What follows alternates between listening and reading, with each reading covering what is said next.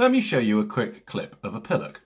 This, this whole Brexit thing, when, when, when hmm. you know, you're judging them on, on, on Brexit, they don't know nothing about it. Who knows about Brexit? Yeah, quite. I, I, no one's got a fucking clue what Brexit mm. is, yeah? You watch Question Time, it's comedy. Were you no clearer when Jeremy Corbyn No, explained I got Labour's the clue. No one knows what it is. It's like this mad riddle that no one knows mm. what it is, right? So what's happened to that twat David oh. Cameron who called it on? Let's be fair. Oh. I think you're referring to our former Prime Minister. Yeah, but why, how comes he can scuttle off? He called all this on. Mm. Yeah. Yeah? He called it has no regrets, Where's he he, where is he? He's in Europe, in Nice, with his trotters up.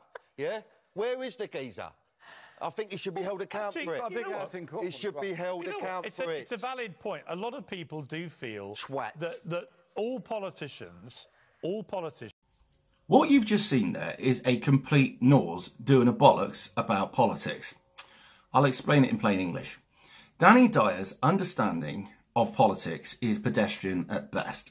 He is a bit of a plank when it comes to politics. He may not have had a clue about Brexit, but there again, I didn't really expect him to. Um, he plays a bit of a plank in everything he does, and he acts like a bit of a naughty boy. So you wouldn't imagine, I mean, this is stereotyping people, but I'm going to do it anyway because stereotypes there for a reason, right?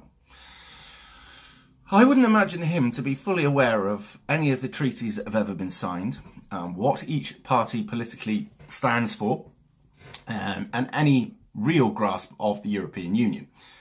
But there again, he's probably not meant to. He's an actor. He's there to entertain us and get paid handsomely for it. And that's what he should do. But this is just another example. I mean, at the moment, he's a little bit like our Robert. Well, he's he is our version of Robert De Niro, and we all know Robert De Niro at the moment is just so. Well, he's basically made himself completely unlikable by the American people for being one of the biggest bellends in the world.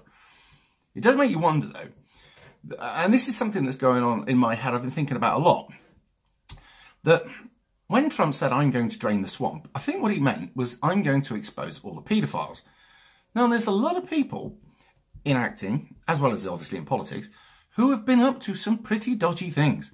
Sleeping with people who turned out to be underage, or doing underage purposely, or some other really, really weird shit, and they do not want to be exposed. And I think this is why they've gone absolutely berserk over Trump getting in because they are generally worried about their future. And if you've been up to that sort of stuff, good. I suggest you should be worried because sooner or later, when the pendulum swings, as it is now, common sense will take over and we will investigate you perverted little bastards for all the things you've done.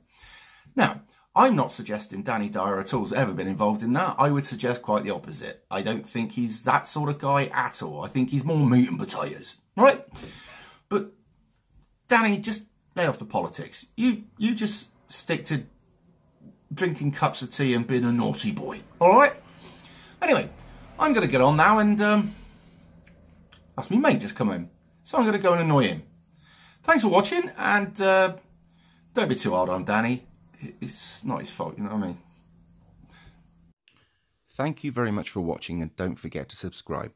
Also, press the bell button. As you can see in the picture, I have two YouTube channels and I'm on different platforms, so you can find me on many different spaces. If you want to support this channel, you can do so through Patreon or PayPal. All donations are much appreciated. Yet again, thanks ever so much. Without you, this is all pointless.